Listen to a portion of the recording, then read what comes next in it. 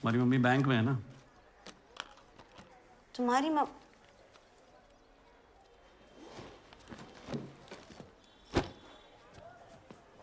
तुम्हारी मम्मी तो स्टार बन गई थी ना बचपन में?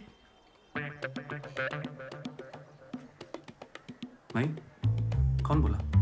तुमने बोला। हम कब बोले?